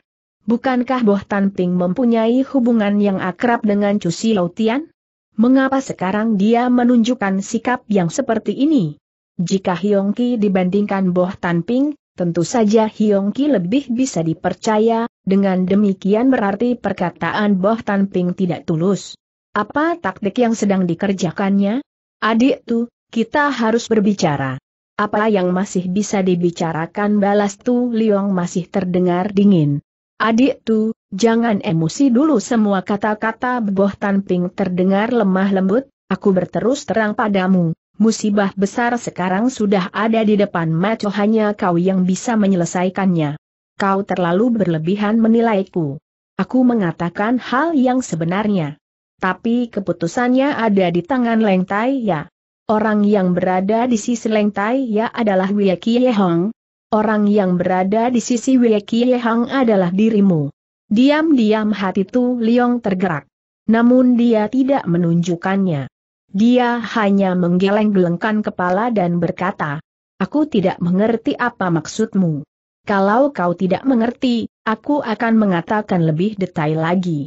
Dulu ketika Tiat Liong San datang ke kota, dia membawa sebuah kopor kulit berwarna kuning. Di dalam kopor itu tersimpan sebuah barang yang sangat penting. Ketika Tiat Liong San ditangkap oleh orang suruhan pemerintah, kopor kulit itu disimpan di gudang penyimpanan barang peninggalan terdakwa. Namun tidak lama kemudian Leng Tai Ya menyuruh orang untuk mengambilnya. Kami sudah menyelidikinya. Buktinya. Kalau kami memiliki bukti, Apa mungkin Leng Tai ya tidak mengakuinya? Aku tidak percaya. Aku juga tidak percaya.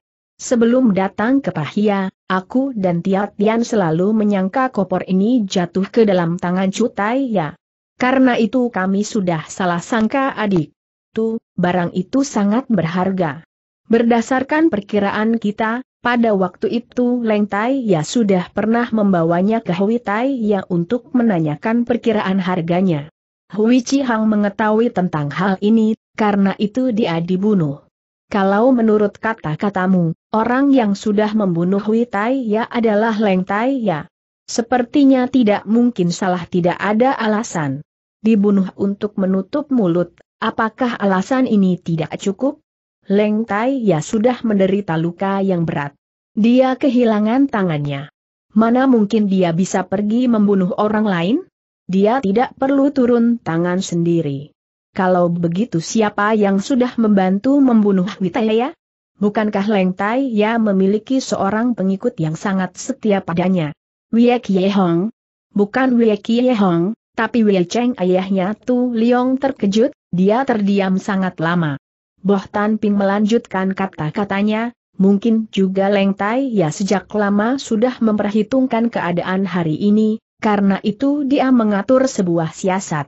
Sebenarnya Wei Cheng tidak pernah pergi mengemban tugas, dia juga belum mati. Diam-diam dia membunuh untuk Leng Tai ya. Kata-kata Boh Tan Ping sangat berkebalikan dengan kesimpulan yang dibuat oleh Tiat Yan.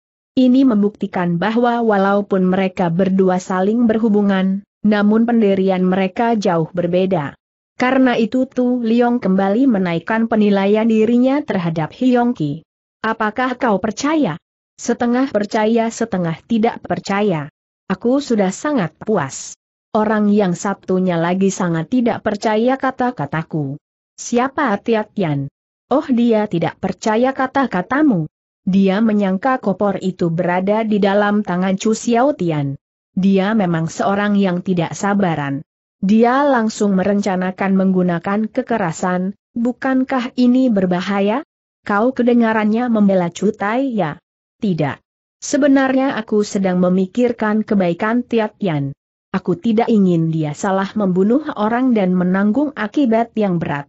Tu Liong hanya diam setelah beberapa lama, dia baru berkata, Aku pasti akan menyelidiki hal ini bagaimana kalau nanti kita bertemu lagi? Boleh saja. Malam ini di lapangan besar bagian belakang sebelum Fajar menyingsing.